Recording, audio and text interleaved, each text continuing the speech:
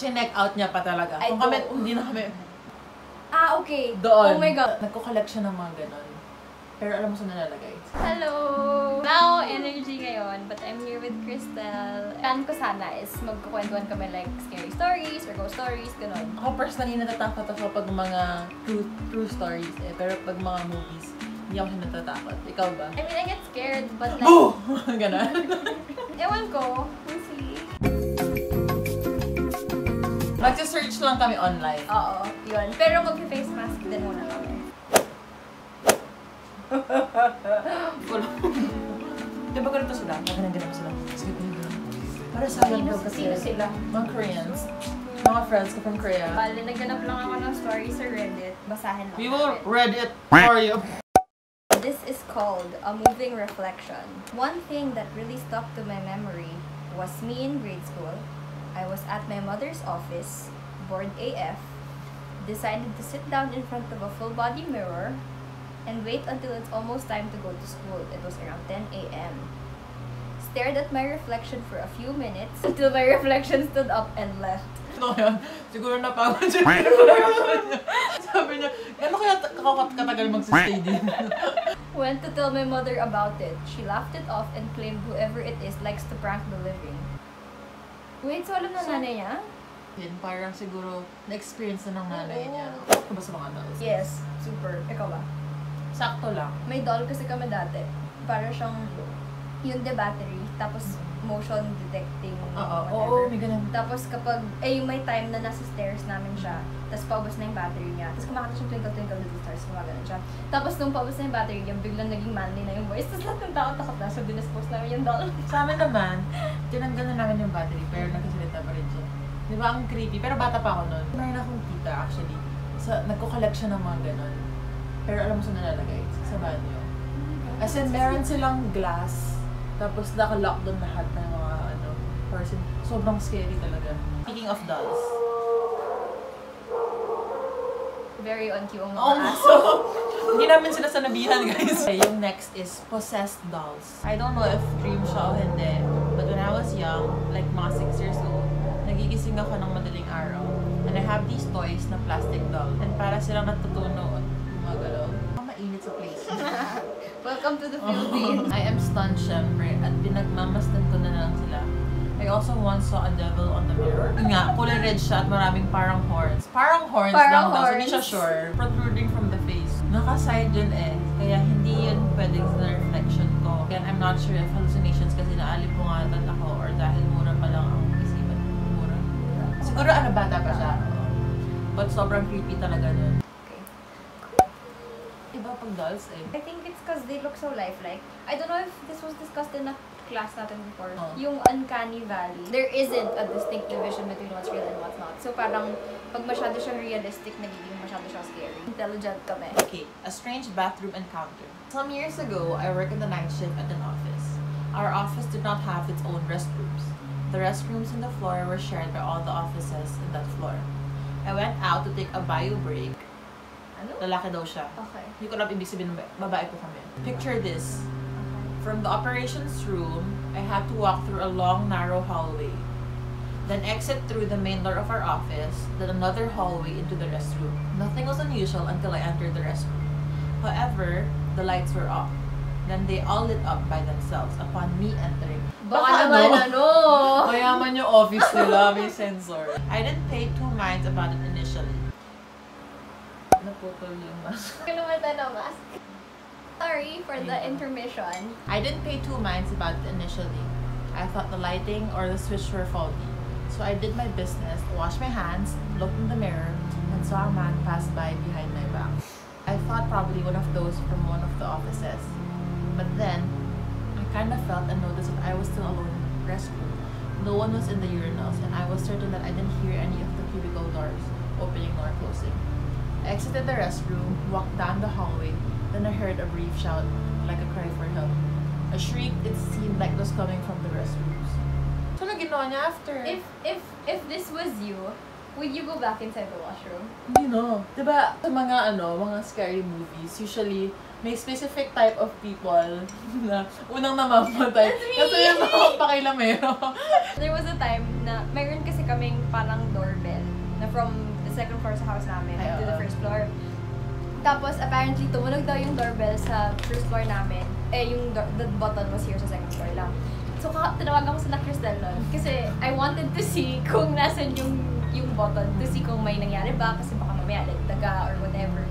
Tapos, pagtingin namin, as in literal, nakaganon lang siya. Like, there's no way anything could have pressed it. Tapos yun, ako yung type of person na unang mamamatay. Kasi I Chinek out niya pa talaga. I Kung kami, hindi na kami, hindi na napapansinin niya. Pero kailangan may camera ako para if ever may nangyari sa O, akin. di ba? people would know. Nakapag-vlog pa siya nun.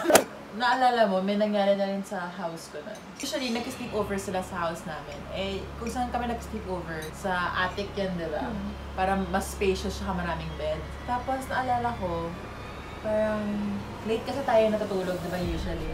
Tapos, ano lang kami, nag-uusap-usap kami hanggang mag-stop na nagsasalita. Tapos, nakatulog na pala kami lahat. Tapos, parang mga 4 a.m. siguro yun. Parang nagising ako.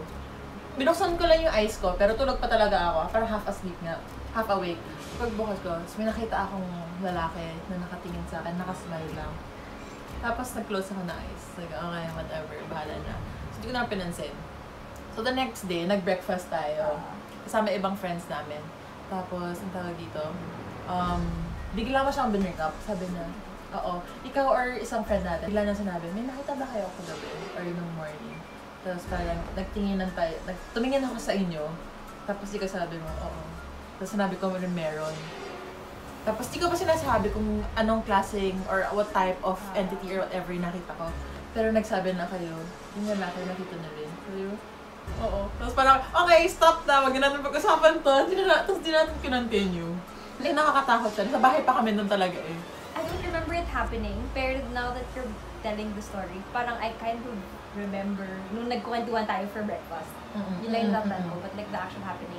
Kasi nasa kabilang bed ka, kasi diba, isang bed, isang bed, tapos may mga Ah, ano dito sa... sofa bed. Oo. Tapos nandito ka sa, Ah, sa bed dito, oo. Tapos ako nasa main floor. Tapos sa likod natin, diba, yung mga clothes. Ah, ah, okay. Doon. Oh my God. Naalala mo? Oo. Kasi tumingin ako ganun, tapos ikaw tingin mo ganun. Wait, nagkakagusto mo. Same. Uuwi ka ba, girl? Dito na ako matutulog. Surprise actually. Same sa atik pa rin. High school friends ko naman. Nag-ano kami, nagkukulitan lang kami doon. Tapos biglaan, yung friend ko na may third eye, pumunta siya sa isang sulok. Nakatingin na siya sa amin. Sa atik. Oo. Sa ibang, kabilang sulok kami. Tapos bilang, sabi niya, umiiyak siya. Sabi niya sa amin, huwag kayong matatakot ha. Gumanon siya sa Ay. amin! I hate it when people say that. Tapos parang kami, ha? Bakit? Sabi niya, may mga bata naglalaro kasama natin ngayon.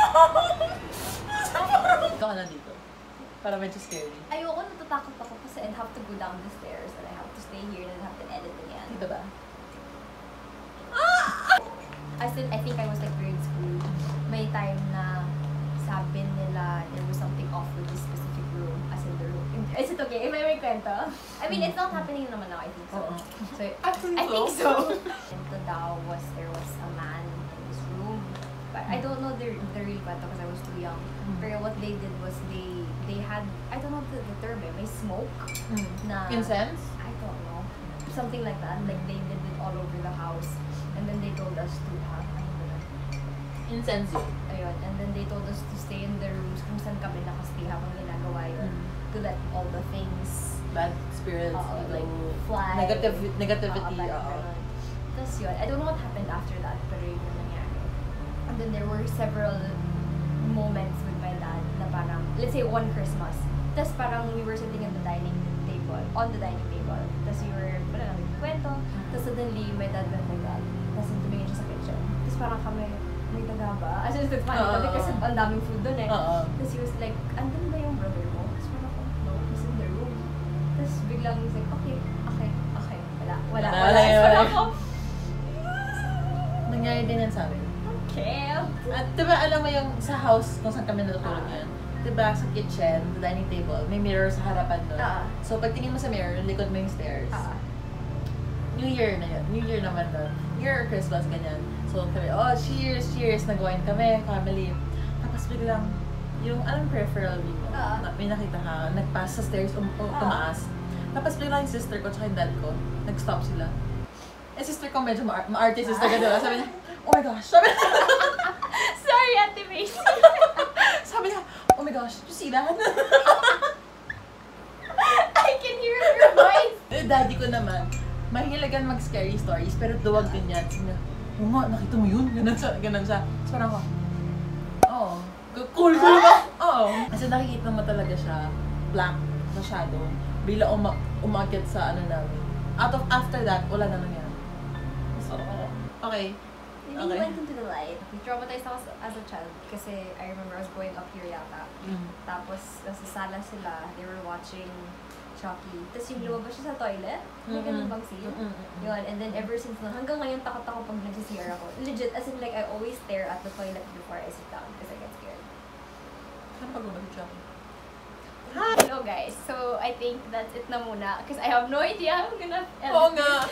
Actually, ang plan talaga namin, mag, um, tawag dito, read kami ng stories or mag-watch ng videos. Kasi, nung first na binuwing up, sabi niya, may scary stories ka ba na alam? Tapos parang kami na paisip. Wala eh. Wala. Tapos now na nabasa namin yung stories, it came out naturally na, shit, may mga experiences wala tayo na ganyan. Yeah. I hope you guys like this video. If you do, please give this a big thumbs up. Also, check out Christelle. I'll be leaving her links down below. Check out Cristel. Check out me. yes, check her out. 23 years old. Sobrang biglaan ng video. Dalawa nakapambahay pa kami dalawa. That's it. Don't forget to subscribe to her YouTube channel. And check her out also. You can subscribe. 22. to 22 years old. Like her, like her YouTube page. like her videos, her vlogs, and don't forget to follow her in her hin- Instagram. Instagram. Instagram. Okay, so any, basta all of the links down below na lang. That's it. Thank you guys. Bye. Happy Halloween. Happy Halloween! Yung thumbnail. Halloween!